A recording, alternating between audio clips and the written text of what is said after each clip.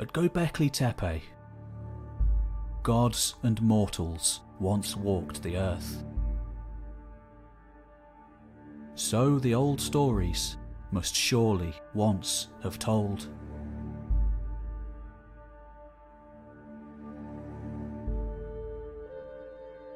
Of the rituals, festivals, and sacrifices of those ancient days, we can say little now for certain. People are gone. Deities cast into the void.